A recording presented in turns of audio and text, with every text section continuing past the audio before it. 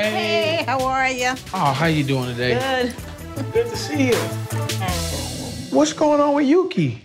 About 4:30 last night, I walked out in the back. She was throwing up, and I noticed there was two pieces of her toys that she ate on Okay. the floor. Got it. Now she's regular on food. Between 5 and 5:30, she's already nagging me. It's time to feed. I'm putting the food down.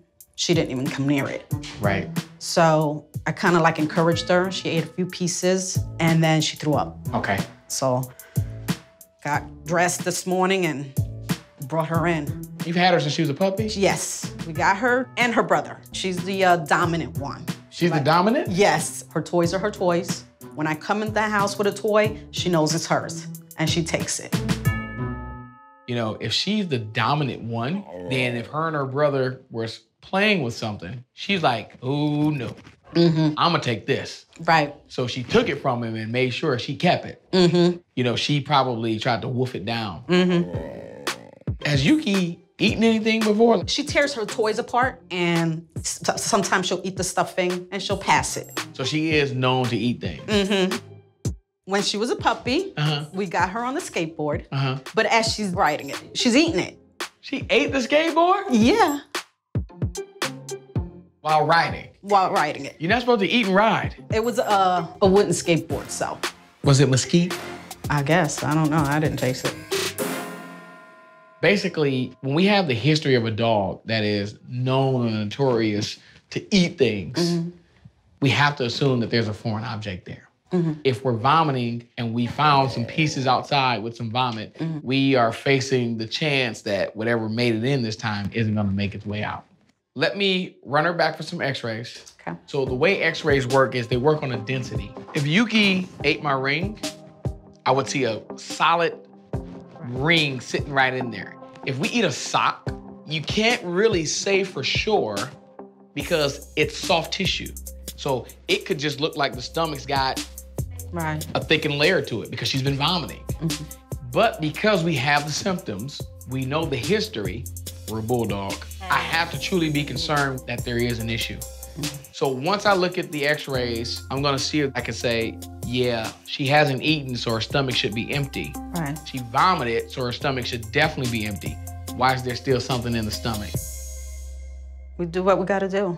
Okay. She's she's top priority right now. We're gonna get you better here, baby, okay? You're gonna be feeling better in no time. I'm gonna need some x-rays on Yuki. Let's do a two-view abdomen. Her mom thinks she swallowed toy. Let's see what we got. Okay. Oh, wow. Look at all of this. Oh, Yuki. She's really got it this time. Okay, so let me start just by here. In the stomach, there's a large gas opacity here between these two sections, meaning mm-hmm. like like this, it's just dilated. Mm-hmm. Typically meaning that the gas isn't moving or it could potentially be trapped because of the lack of movement of the intestines. The other thing is there's a soft tissue opacity right here. It's the smaller part of the stomach on its way out into the intestines. Mm-hmm.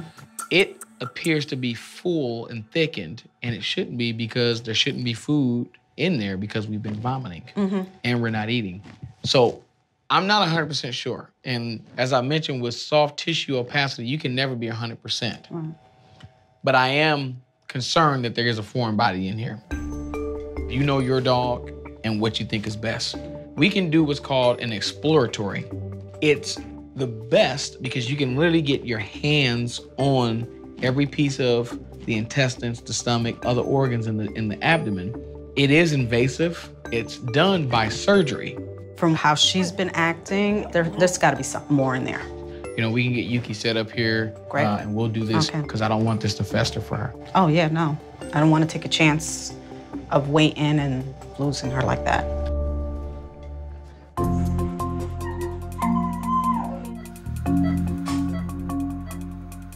My patient Yuki may have swallowed one of her toys, so we're gonna go in and do an exploratory surgery to search her GI tract. You don't always see it directly on x-ray. It's something that's soft, for example, this towel, you may not ever see it, but it could be blocking up with the intestinal tract and causing a lot of damage.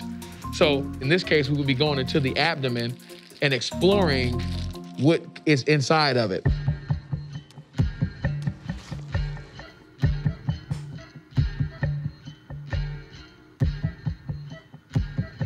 I'm gonna start this a little high so we can get good into the abdomen. It allows me to visualize a little bit better. So we're just gonna start at the stomach. Oh boy. Uh-oh. There's definitely something here in the stomach. You can see how the stomach is very flabby here. And then mm-hmm. when you get over here, something's sitting inside the stomach. I can't compress the stomach. It's pretty large as well. Definitely something cloth based. And what I need to do is trace that to make sure it's not going, oh boy, What is it doing? that's not good. Oh my. Looks like we got a linear foreign body. So linear foreign bodies, for example, there's a string attached here, it anchors, and then it threads itself down, but it can't move, so it starts to pull part of the intestine. So you get an accordion look. It should be very smooth like the rest of this. You can see here it's all scrunched up. You have to be very gentle with this, because if I pull this, I could rupture or lacerate through this part of the intestine. See if I'm able to pull this up through the stomach. Poor Yuki. Why you do yourself like this, Yuki? Dogs will do some amazing things sometimes.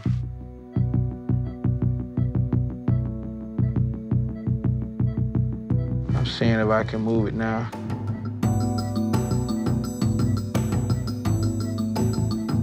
Oh my goodness.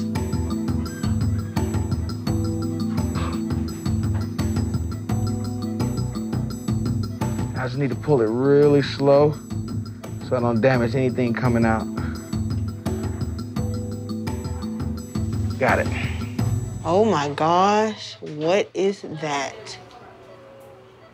It looks like a sock or a rope. Yeah.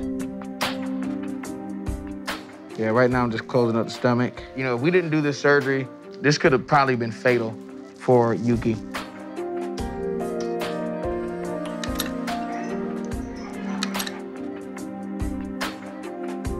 You got it from here? Yep. Good job. Good job, Dr. Blue.